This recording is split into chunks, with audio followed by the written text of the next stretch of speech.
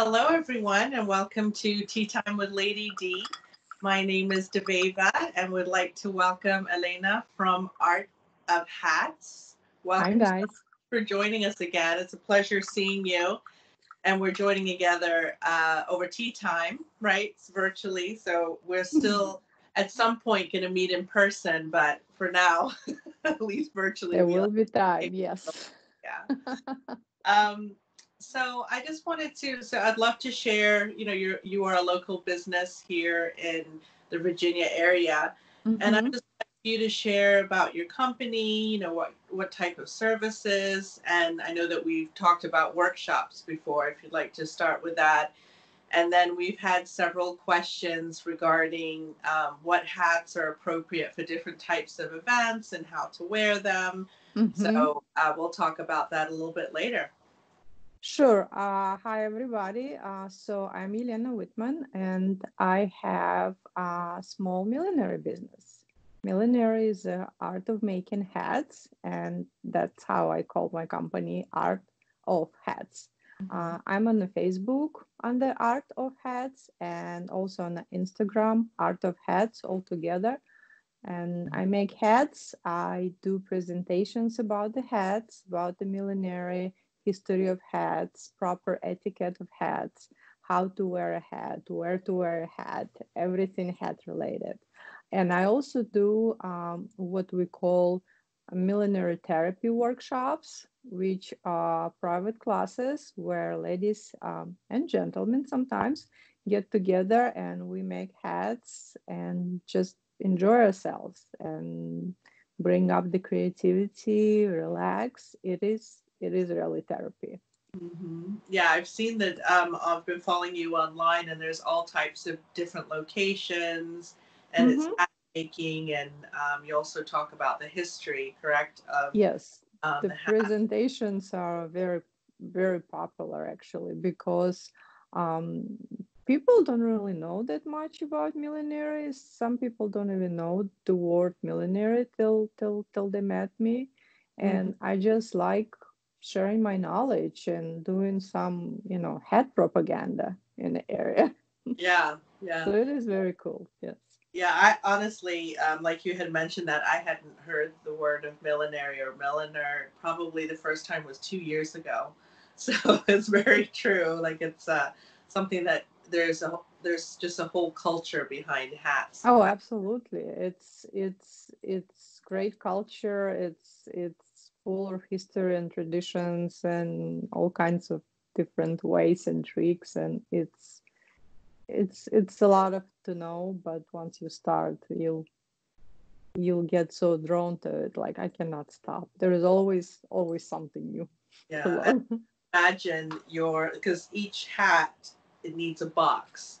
So i can imagine the space that you need you know just for four or five hats with the hat boxes it takes a lot of space, necessary if they're very, you know, delicate, correct? The hat. Well, um, I actually had a couple of weeks ago. Um, I have a little uh, women's hat club, and a couple of weeks ago, I had a presentation, the Zoom presentation, on specifically how to store your hats. And oh. yes, we were talking about boxes.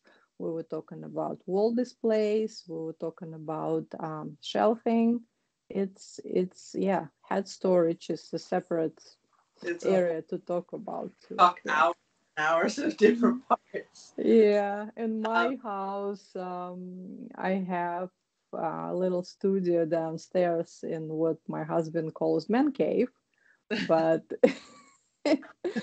we're lucky to have a very big finished basement so we share with him and bless his heart yeah. So, but I, yeah, it, it, it is getting to the point where I need to start cleaning because um, I make most of my hats to order. But mm-hmm. sometimes when I have a muse, I'll just make something for the sake of making. And sometimes I'm selling them, but sometimes I cannot just, I cannot part they're like babies. I, you know? I can imagine. That's kind of where my teacup cup collection and exactly. it's growing and growing. And the ones that I have in the back, it's usually in the cabinet, but I had to take them out to dust. Mm-hmm. And flowers left over from Mother's Day, and I'm like, that looks so pretty as a background. It does. I just left Well, it. I have mine. I actually had to buy a cabinet, especially for my teacup collection. You can see there's um, glass, so it does not get dusted much. But sometimes, yeah, you'll have to. It's Yeah. the whole weekend project. So, Yeah. My dog Chloe's trying to join us, so you can see her paws. hi, Chloe. Say hi. So let's get started. Um, so we've talked about before as far as the fascinator, and um, you're wearing a fascinator now, correct? mhm, Yes. So tell us a little bit about about fascinators, and I think you had mentioned before that that's more more appropriate for inside or different types of occasions. Well, uh, fascinator is um, technically something a headpiece that covers less than uh, well the headpiece with the base that covers less than four inches of your head, which is Oh. what I have. Mhm. And um, some people in millinery um, consider them um, the low part, you know, out- outcasts of millinery, and not that me, not, not that uh, many people even like making them. I personally love fascinators. They are great for the people that, let's say, you've never wore a hat before and you have no idea where to start, and you are invited to the event where the hats are mandatory or needed. Mm-hmm. You do not want to start with anything huge, Huge. especially if it, like you say, if it's an inside event, uh, a tea party, or um, especially any events where you know that you're going to be sitting on the table with other people, like a tea party, right? You do not wear anything that would be inconvenient either to you or to the people next to you. So this little piece, it's very convenient. It's very easy to put on. It sits in a very thin band that you can kind of hide with your hair. So I'm like, you can probably even see it. And they, um, I make my headband to match the client's hair. So if it's black, I'll make it black or whatever color. Um, so you just see this little piece. It's very easy. It's it's light. I don't even remember that I have it Uh, yeah, yeah. and that's you what- just put it on and and go yeah. Mhm. and what i say um if we are to talk about the very first headpiece that people would like to purchase uh, go with something like that um, it is um, one color does not have any frou-frou and what i like about these pieces as well if you can find they're not very often but you can find buy the piece that you can wear on any side of the head. Like, see, it looks just as fine if I turn Yeah. Usually, you're supposed to wear it where you part your hair, like right here. But sometimes when you buy it, y- you may change your hairstyle. You are not sure where you're gonna wear it. You don't wanna, um, especially if you buy something online Right. which I, I I don't recommend unless it's a trusty milliner. None of those um, you know made in China signs uh, sites. Do, don't do that. Mhm. Uh, but yeah, see if you can buy something like this. One color, very simple. You see, I have kind of grayish dress with some pieces of different flowers, so it matches my outfit and it immediately completes me. If I wanna spice it up, and that's another thing about the um, headpieces that are one color. You can it's it's like a basic. You can do whatever you want with it. Let's say I have something like pink and purple on my dress. So all you have to do, maybe grab yourself a couple feathers and attach them here. And you know, feathers come in any colors you want. And there's some pink ones. So you can put it in here. And this is already, you know, it's not as settled it used to be. So it has a little whoop. And especially if you're going to be outside, you know, the wind is going to be blowing. And if you're going to do not overdo it. Like, don't try to just push everything you have in your house. But a couple feathers are fine. Or maybe you have, like, for example, I have these butterflies. It's like see-through. You, it's basically you can't even see it. So you can put one here. You don't even have to uh, like sew it on. Just put a little, uh, a little pin. Be careful not to hurt yourself and make sure you're not going to lose the pin when you're wearing it. Or the butterfly flies away. Well that's that's one but you don't want to hurt yourself with the pin. But let's say you put the butterfly. So you're ready yeah. telling your story you know? I i was in the garden. I had the butterfly and again do not overdo it. I'd say two three elements no more than that. And um, let's say maybe you have something green in you. Oh i have something it's kind of like orangey. Mm-hmm. and i have a little piece of uh, netting the same color. So all i have to do just add this net here and a couple feathers. And it's already looks like yeah it was made for my dress. I love yeah so it's just a base color and then you can add exactly like- and that color can be any color. I make this in like a lot of colors. This is very popular. It's only $50 and you basically getting yourself a piece that you can play with for years to come and it matches any outfit you can think of. And again if with the time you change your hairstyle well just you know change it yeah um, so just real quick, so one thing about fascinators, mm-hmm. if it's a really good point. So if you could show everyone, fascinators are supposed to be on the sides, correct?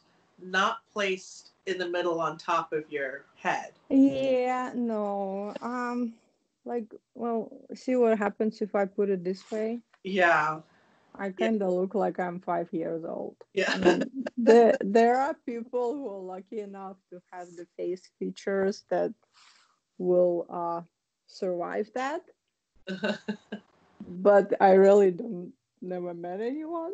I yeah. heard about it, but you know, so yeah, fascinator goes on the side, and um, usually it's uh, well, this one is kind of sits uh, like above my forehead, but mm-hmm. sometimes you can wear them a little bit lower like this.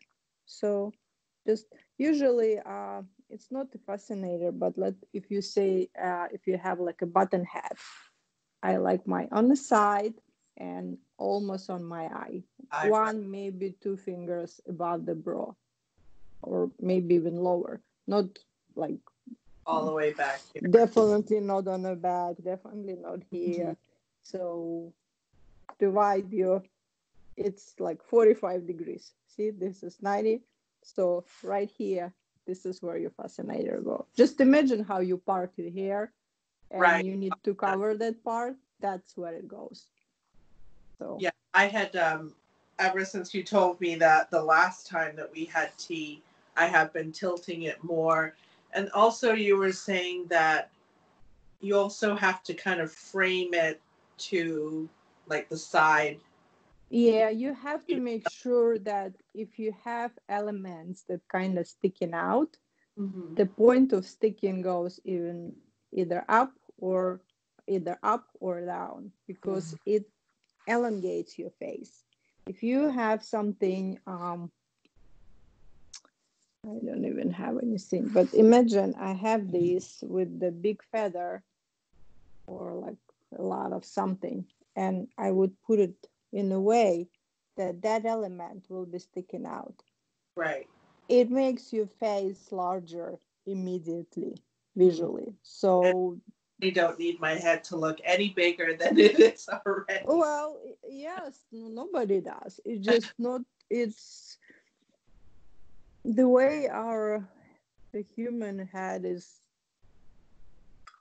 created, I want to say, or made, it has to be in this way. And that's how we as humans used to, you know, looking at. So if you have something sticking out, that immediately creates not not only makes you i don't know larger it just makes you weird looking yeah you know it, when with the dress if you look at the history of the dresses especially women's dress you know through the history women wore all kinds of shapes and forms. And now if somebody wears a dress that kind of unusual it's it's maybe not um, in a in the fashion of the day but you would not be looking at that uh, completely shocked you know because yeah. somebody somewhere already wore it.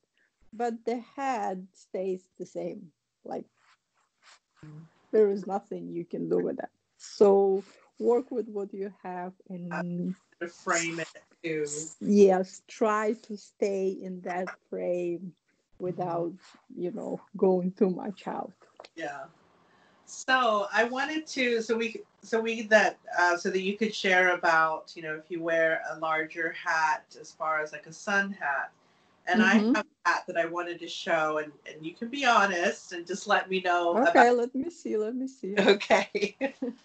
So um, give me just one second. I'm going to mm-hmm. let Chloe out.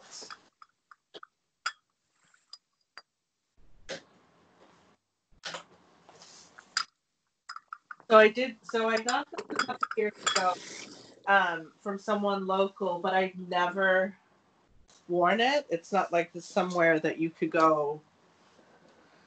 So it is pretty. Um, mm-hmm. It has like. Oh, there's a lot of going on there. Okay this is the only thing. So if you were to get a hat, like I'll try it on and you'll, I don't know, does this part go in the back? Like I wasn't quite sure. So I'll put I, it. I, I, I don't know. yeah.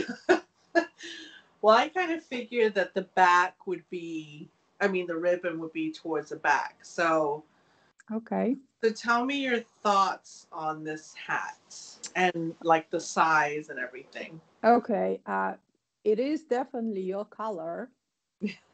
However, this is just too much going on. Yeah. You know, it's one of those, you know, like Coco Chanel used to say when you leave the house in the morning, look at yourself at the mirror and take one element off. Okay. I would take like half of the flowers away.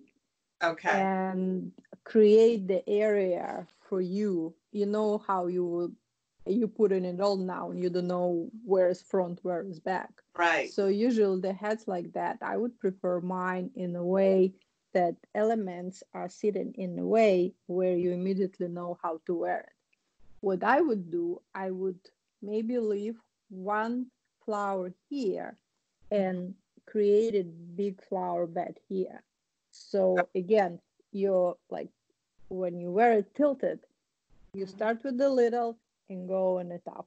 Oh. So you will be creating instead like whoop whoop. Right. You would be creating the you know the okay. face that is elongated. It is very pretty. It just needs some work. Mm-hmm. Plus, like if you would go to let's say inside party, it is probably too much mm-hmm. because mm-hmm. um, remember how we talked that you yeah. are had didn't pass. you you had should stay between your shoulders so this way when you turn you don't bother anyone this is almost there. Yeah. so to fix it what you can do try tilting it a little bit more. And this way it's, it's gonna go less this way and that right. way. So even if you turn somebody to somebody you know it's not gonna bother.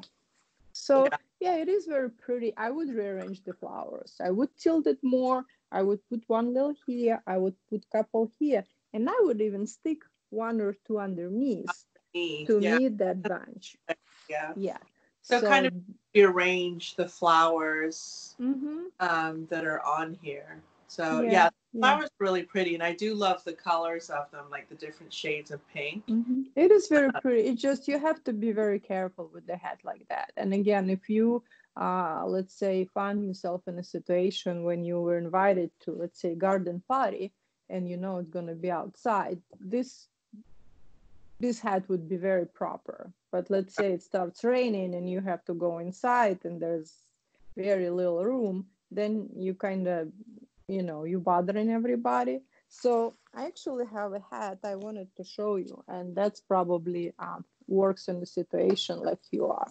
Um, this is um, very light. This is straw. There's two types of straw. So and it is big hat so what you do instead of wearing it straight i put it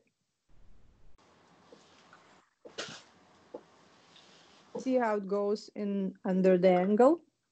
So it is big still. Let's say if you're outside it will well it would probably would not help you with the sun much but imagine that you have something more um, you know a little, a little bit not as lacy as this one mm-hmm. so but it goes on the on the on this oh my god under the corner.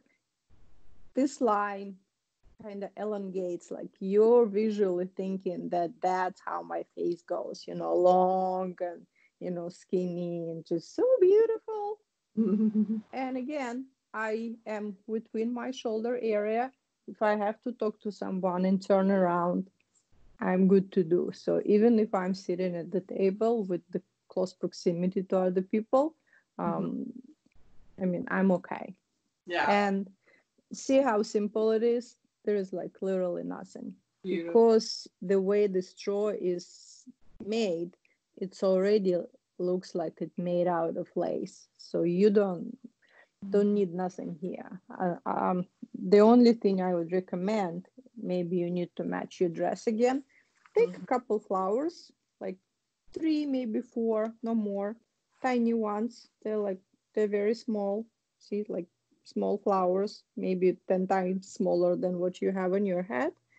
And you can attach them very carefully with either a pin or maybe, you know. So, oh, one is folded. Mm-hmm. Well, I'll take this one. It's easy to attach. So let's say you have a, a dress of this color, right?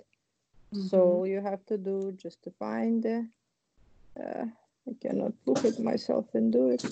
So Ta-da! And you can maybe do one underneath there. You're a little bit bigger. And you look like you basically like um, Marie Antoinette in a country house. Yeah. Very light, very easy, few details. There is nothing here that like, this head is so light and airy. This is all you need. Maybe yeah. even couple just um, petals there and here, just kind of like you were um, under the cherry tree and you know the mm. petals fell on you. Don't recommend um, to glue them correct? Because no, then no. No no god forbid. I i do not like glue. I do not like glue um, for many reasons. Um, first if you let's say like people like to use um, hot glues and all of that it is so easy to do something wrong with your head. And once you hot glue it you you basically cannot fix it. I mean you can probably tear it but there'll be a hole if you just sew it on all you have to do is just you cut the thread and you know glue can change the color glue can leave the spots over time uh, glue can leave those glue lines you know it, it's just um, that's not proper millinery. Um, the only way i would use glue if it i working with material that does not take anything than glue um, i'll show you a piece for example and uh, sorry. Mm. Mm. So I have a couple pieces. So this is again a fascinator. See the little flower thing? And it is made of EVA foam. Mm -hmm. This is something that And this is what I call um, a waterproof millinery. This you can swim in. You know, if you go in a party and wearing something like that, if it rains, you better hide because it's uh, gonna ruin your hat. Mm-hmm. This, it's it's easy. You can wash it. It's waterproof. Again, you can wear it double sided. You know, easy peasy, beautiful piece. You can, you know, you can go as as big as you want. See? Very pretty. Oh, sorry. The color is very pretty too. I know, is it pretty? Very pretty. So this is one of those that I kind of made for sale, but now I'm looking at it, I'm thinking, I don't like it. and it's these are perfect for kids. They're very light. They're again, you can wash them if you need to. You can run around with them. You can jump in a pool with them. but these are made using glue because of the material. I can I just I cannot use needle on it because it's gonna tear them apart. Yeah. So it's you know it's it's very nice. It's like you know everything in cover if you don't see anything sticking out but you know there's there's something for everybody and even this you can dress and you know maybe put a little butterfly on it you know and the other uh, one yes. feathers mm-hmm. yeah and this is uh, again the perfect piece to wear um, to wear if you go into any kinds of party really. Um, it can be tea party it can be garden party. Uh, this is actually very popular for weddings now because um, especially for the bridesmaids because i can make a many color you want. Yeah. Like if, if you need to uh, go with the bridal colors or match a bouquet and mm-hmm. no problem. You can cut um, i think yeah. yeah talked about this before that fascinators, I think it's with all of these period shows and movies. Mm-hmm. They brought back a lot of the fascinators now that are, people are using on their weddings for the bridal party and things like that. So they are definitely back, and you know they never left in England, but they are coming back to the United States, and there is definitely an interest. Even uh, with a couple years ago, I can compare how how much more a um, couple years ago the only uh, commissions that i would get would be for the racing events you know? Now people order for weddings for parties for garden parties for tea parties and um, yeah there is interest and and um, i'm so happy about that and i i hope that i i bring some you know I put something into it. My propaganda worked, you know. Yeah. so, yeah. again, that that that's not scary. It's uh, I think the reason that people were afraid of the hats because when you say a hat, everybody immediately thinks something, you know, huge right. that. Yeah. That that does not need to be. You can start with easy hat piece again. This like you can work to where to work. There's nothing to it. And you know even something little like that is you know people always wore it or a little fascinator. And i love these they're so easy. And again they're so customizable and you can change them in the whip you know. Here i have something and you know take it away and stick something different. Yeah, and it changes the look completely, and you can absolutely, absolutely outfit. Or you, you can do you can do like a flower here too. Don't forget about flowers. Again, do not overdo it. I I keep re- reminding that everybody. Just um, make sure that your balance stays. You know, because this is a very tiny, small dainty piece. So do not overdo it with the huge flowers or, or huge feathers. Right. But some little something will will work just fine. Fine. Okay. Well, thank you so much, Elena, for joining. Sure. Always a pleasure. We could talk for hours about hats and tea and fashion. Absolutely. I have to ask you, what tea are you drinking today? Uh, I already did drink it. Um, it was a green tea. A green tea. Yeah, I do like green tea. Sometimes, um, this time of the day, I would sometimes just do an infusion, so Mm. there is no caffeine in it. But uh, usually, I like to drink to. Uh, I make my tea mixes myself. I buy different teas and just mix them up as as it goes. Yeah. Yeah, we all have our nice like our, our custom go to. Like I'll have people ask like what are your what's your favorite tea? And that's Mhm. You can't answer that just with one type. No, no. you're in and time of year and that sort of thing. So I I don't even know sometimes what's my favorite is because like I say I would mix something I'm like oh okay I like it Yeah. so we have a batch I'll drink it and then I'll go to the next one. Well thank you Elena and hopefully um, we've Thank talked for about having me. before we'll be able to collaborate with a tea party combined with a DIY workshop I think would be I'd love to. a great experience yeah for the customers to have.